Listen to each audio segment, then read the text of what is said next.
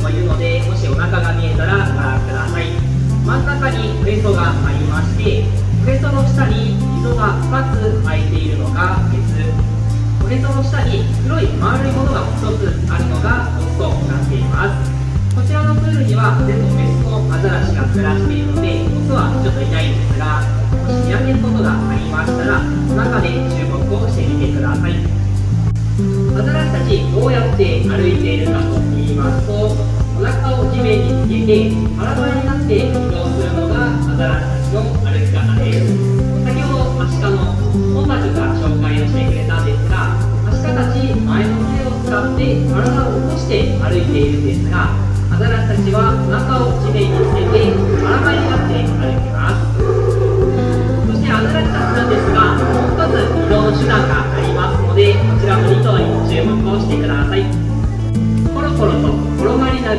動することができます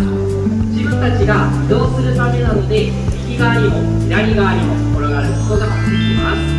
そしてこのままプールの方に入ることもあるんですね自分たちの体の形を生かして移動することができます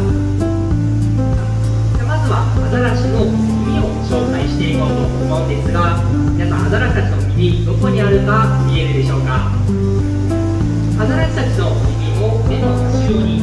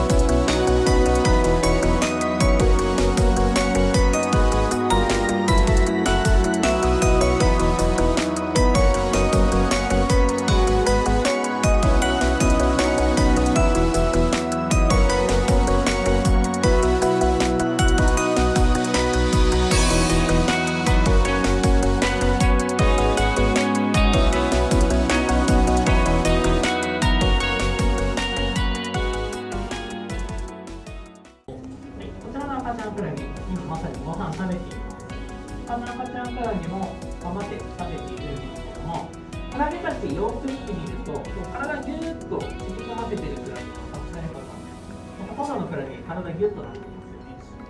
クラゲたち、えー何をしてるかというと、クラゲたちそもそも体全体、こちらの水クラゲ、地方動物の仲間になります。地方、毒針をたくさん体中に持っているんです。この、えー毒針、動物プランクトンたちが体にピタッと当たると自動的に毒針が発射されますそして動物プランクトン餌たちが動けなくなってしまいますねその後クラゲたち捕まえた後体ギューッと縮こませることによって口のところまで自分でご飯を運んでいるんですねこのようにしてクラゲたちすくすくと大きくご飯を食べて成長することができるんですはい、ご飯入りました。少し食べるまで時間かかりますので、観察をしていきましょう。早速食べていきます。クラゲたち、傘の端の方、毒針たくさんあるんですけども、紐を使って動物プランクトンを動けなくしていった後、この中央にある口、よく見てみると、1日目と比べるとえ長くなっているかと思います。この長い口を腕のようにグイッと